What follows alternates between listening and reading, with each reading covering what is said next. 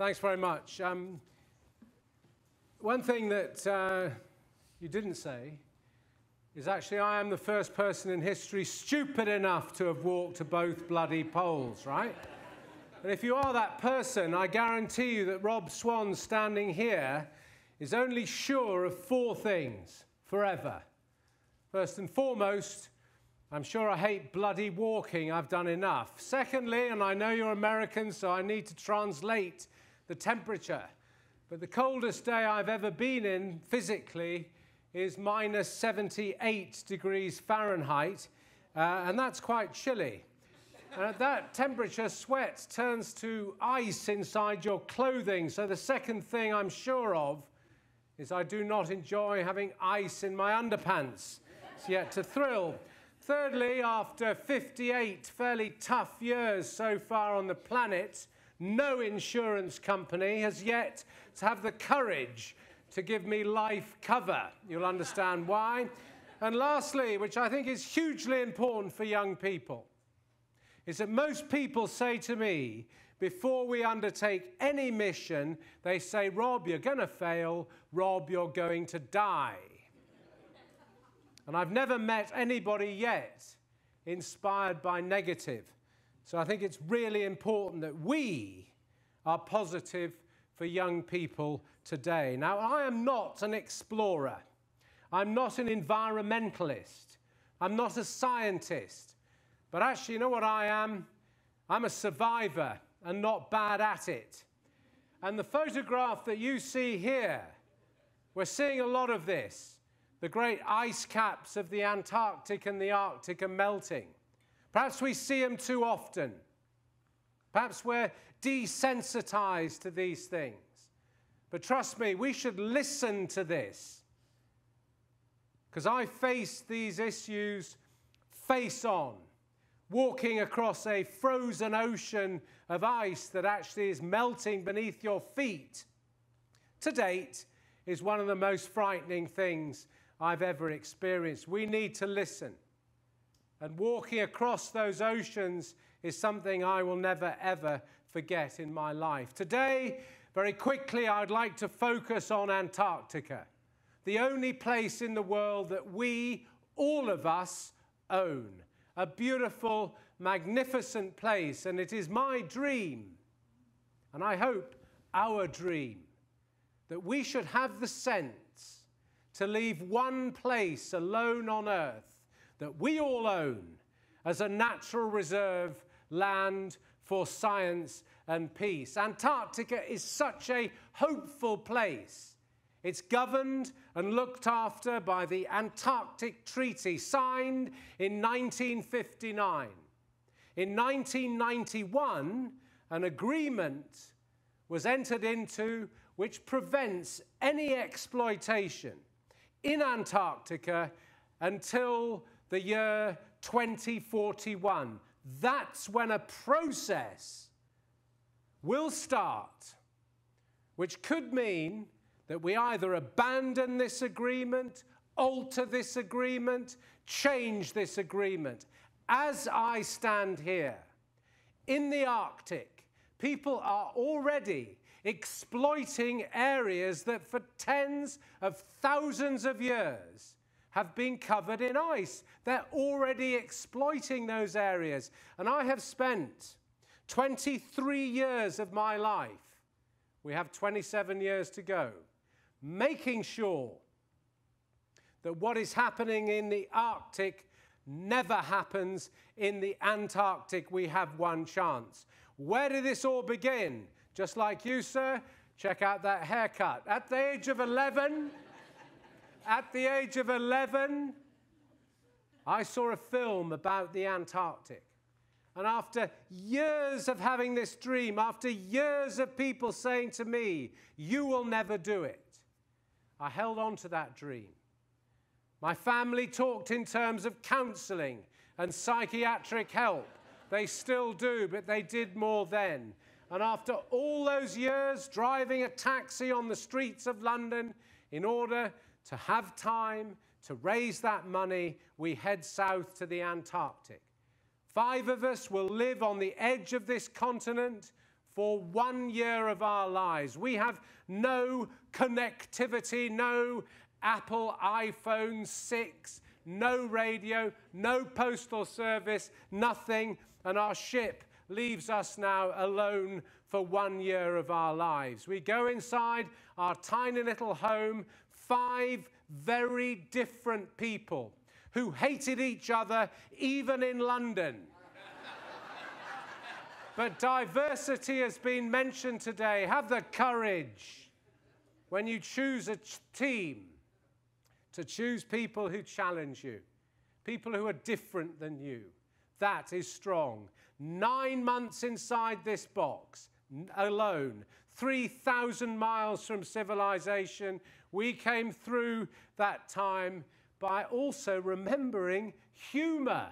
150 miles from our base is a small American scientific station. The American scientists believed the nearest human beings were in New Zealand, 3,000 miles away. So it was a bit of a shock after four months of darkness when five cyclists appeared from the ocean. They thought it might be aliens, but when they saw us, there could be only one answer British. no one else could be quite that odd, and I absolutely loved Alex's presentation this morning. But eventually, we lay out our equipment. Integrity is not a word that we can put on our business cards. We have to win the right to believe we have it. Therefore, we carried no radio communications.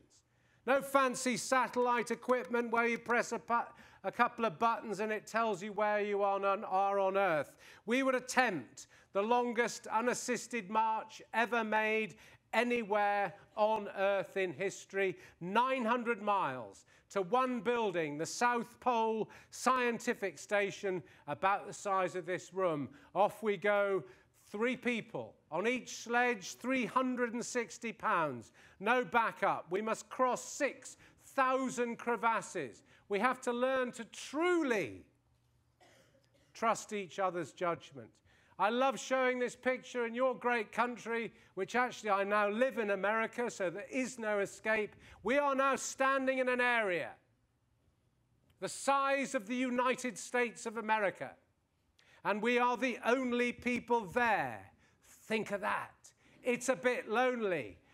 Beneath our feet, 16,000 feet of ice, 90% of the world's ice, 70% of, those, of all that world's fresh water, 70%. We saw a map earlier of how small we have. 70% of that is in the Antarctic ice cap. Listen to these words please carefully. If we continue to melt this ice, we swim here. If we continue to melt the ice, we swim here. As we close in after 70 days, there it was. We'd done it. It was hard work. I lost 69 pounds in body weight in 70 days. I hadn't done it.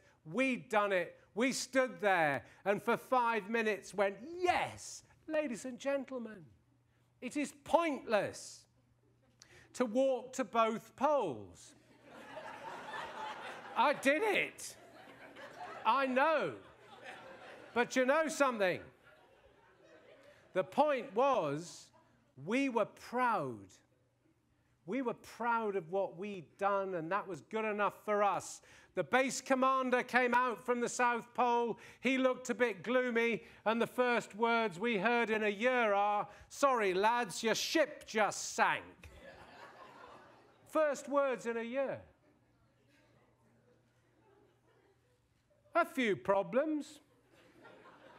First, you can't insure a ship this far south on the planet. I'd promised my bank manager I would pay my debts off by selling the ship, so I lose my house, home, everybody's laughing at me.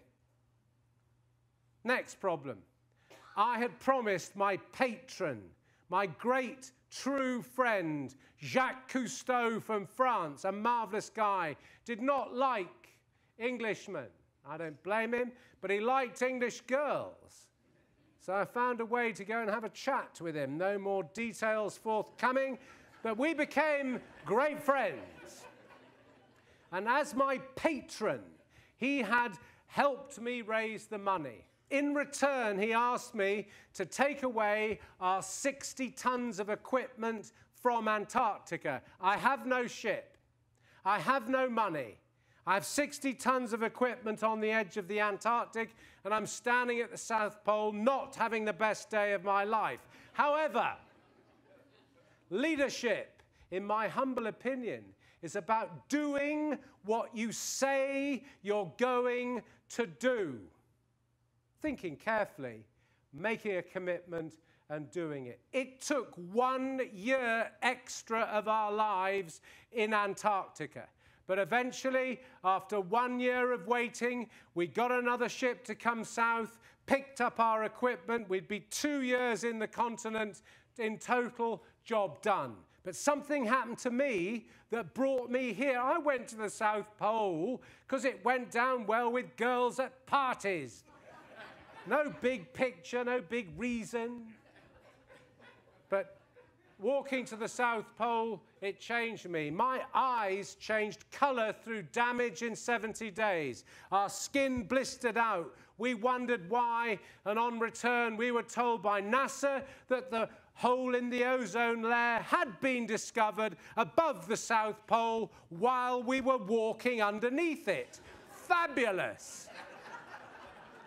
Ultraviolet rays down, hit the ice, bounced back, eyes burnt out, face fried off. It started me thinking that perhaps some of these issues are not somebody else's problem. First, we're not too sure why, but I'd made a promise to walk to both poles, so now we head north. The North Pole is a frozen ocean. You will march 700 miles away from the safety of land every step. It's a desperate struggle. You can also be eaten as you go to add to the fun of North Pole travel very quickly. My view on climate change and global warming very quickly. Climate change is happening. It is definite. It looks fairly likely, and the United Nations and scientists keep telling us that we are causing this problem to perhaps happen faster and perhaps happen more, but some of us still don't seem to believe it. Very simply, it's this What does a survivor do to stay alive? If you see a problem, you deal with it before it hits you. That's how you stay alive. So, climate change is something we need to deal with and make it a good business opportunity. Otherwise, it will not last. And if we still don't believe it, let's have the next World Summit on this iceberg with a polar bear. because in 25 years since I walked to the pole, we walked to the pole. The polar bear has gone from untouched to endangered. Why? Because the their home is melting. If you want to know how it feels, next time you dive into a swimming pool, come up for air and imagine that the sides of the swimming pool have disappeared. It's happening. We need to listen to it. 25 years ago, we had plenty of ice. Here's me coming in from washing at minus 71 degrees Fahrenheit, naked. Gentlemen, you will notice, gentlemen, and I'm going to use it. That's the wrong one. Yeah, I've got it. You will notice, gentlemen, that there is absolutely nothing hanging down in the central area of the photograph. It is your job, gentlemen, to explain to our esteemed ladies later why this happens to a naked man at minus 70. It's cold. We are now 647 miles from land. 647 miles from land. And the only thing we hadn't planned for happened. The entire Arctic Ocean melted four months before it ever had. And we're dead. Do remember we are British led. So we don't have a CNN camera crew filming us. there is no Russian submarine on standby just in case we get our feet wet. No one knows where we are. And in order to stay alive, we cheat time. We can have 40 hour days now. Why? Because it's always daylight at the pole. And I think we've seen some grim enough things today for me to show you this picture without feeling too bad. But uh, our brave American Daryl from Harlem, New York City, who had become the first American in history to reach the pole, his heel dropped off 210 clicks out. He kept walking. And after 56 fairly desperate days, we stood there. We'd done it, not me. We'd done it. And we flew a wee flag, the flag of the United Nations. To be honest with you, after getting to both poles, I was depressed. All my life seemed to fall to bits. Some of you might know what I'm talking about. To achieve everything you thought you wanted to achieve, you do it, and then it's all empty. And I had a tough time, but hope came in the form of Jacques Cousteau, who summoned me and said, Rob, what are you doing for the next 50 years, boy? And I said, Tell me. And he did. And he gave me the mission of 2041. First, we'd have to buy a yacht to visit Antarctica. And Peter, founder of PINC, he helped me so much. Pete, up there, thanks, mate. Good on you. And we would sail to all three world summits to, to visit the world leaders. And uh, you'll like this one for the second World Summit in Johannesburg 2002, we made the longest overland voyage ever made in history with a yacht. 8,000 miles round southern Africa to see kids who'd never seen the sea, they'd never seen a boat, they'd never seen a red Englishman, they'd never seen an iPod. They came out to see us. It was fabulous. And every year, I take business women, businessmen, young people, students, teachers to Antarctica. Uh, every year from many nations. You're probably thinking, this Englishman doesn't look particularly English colored. Why? I've lived in India for the last four years. Why? Because they have a population of 1.4 billion. 1.4 billion people. And you're about to meet my mum, but when my mum was born, the population of the planet was only 1.8 billion people when she was born in 1914. Same goes for China. Whatever we do here, we have to realize the numbers and work with India and China on these issues.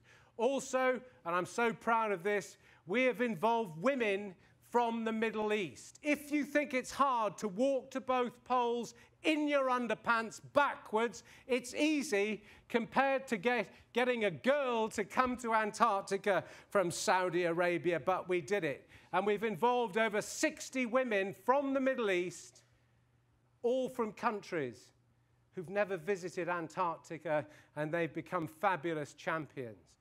What a place to go! What a privilege it is to go to the Antarctic. It's not for Tarzans and Amazons. We've done all that nonsense. It's for people who care. It's for people who need to see that places like Antarctica are telling us something and we should listen very, very carefully. All these people return back as champions for their own issues at home, but they also returned back as champions on Antarctica. Very, very quickly, as part of the mission, I like action. So over eight years, 10 million bucks, idiot here had to raise. We cleaned up 1,500 tons of garbage from the Antarctic. My mum, there she is, I love my mum, 100 years old, and she is still re recycling. and if she can do it, we can do it. So we, we cleared all this rubbish from the Antarctic. And I love India. I truly love India. We've heard a lot from it. And barefoot college man, you know, bunker, what a, what a fella. But as he knows, if he took a yacht to India, people would laugh at you and end up in customs for 47 years. So, unfortunately, over the last three and a half years, I've had to do 5,200 miles on a bicycle. but you know something? It was relevant to young people. I ask you in a very humble way, in all that we do, just to make sure we're still being relevant.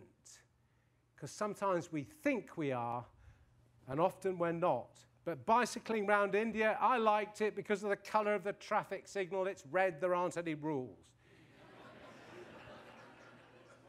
there, I saw so much plastic garbage which will end up in the ocean from rich European countries companies, American companies, trying to increase their market share, but not really thinking about where all the garbage goes. But I met some fab women. Don't mess with this small lady here. She got a team of people together in India, unbelievable women who go into garbage dumps bigger than this entire city. And they're starting to recycle followed that through to the end, and we made desks for schools that didn't have desks. It's only small, but one should make an effort. I build education stations all over the world running only on renewable energy. Why? Because it's the best way to save Antarctica. If we're using more renewable energy in the real world, we won't need to go to Antarctica to exploit it. It won't make financial sense. Amazing country, India. This is my favorite photograph on the planet. Why? This is the entrance to the uh, Parliament of India. I love India. Have a chat with these chaps on the right. Could you just stop the traffic for a second? Certainly. Picture taken. And we have built an education station only running on renewable energy in the Himalayas, which, as we've heard today, are melting. This family saw their first electric light, just like the Barefoot College people, through solar lighting, not from the grid. We built our first education station here in the United States. We have managed to fix the hole in the ozone layer. None of these things are impossible. We just need to engage on them. But six months ago, as I quickly come to the end of the story, NASA told us that the Western Antarctic ice shelf is now in disintegration, it's melting.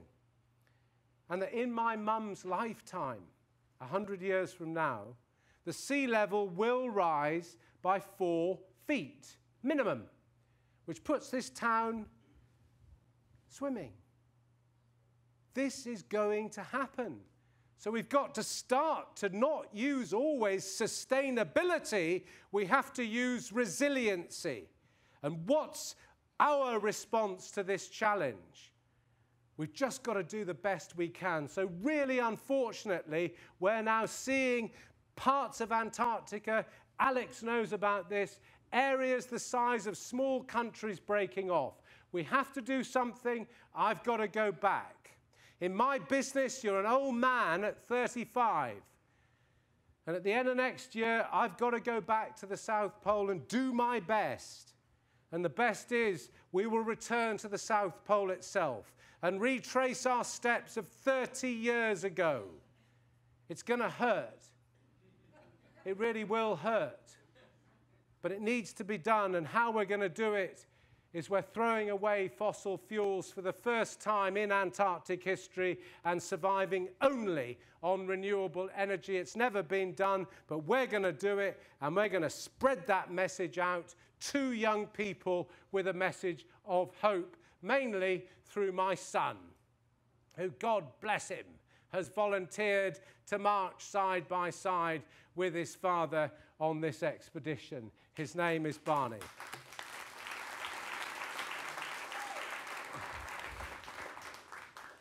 I think, Larry, you're there, sir. I think what you said about creativity sparked my mind. I'm not somebody who just says things. I hope you realize that. Too many words in this world. I'm tired of them. And I'd like very much to take a student from your wonderful institution, from your college, with me to Antarctica next March. Somebody who can do some artistic work in this last great wilderness to help us. I'm also making a commitment to take one of those fabulous solar engineer ladies from the Barefoot College. That's my effort. We've got to do some more walking. We've got to keep this work up.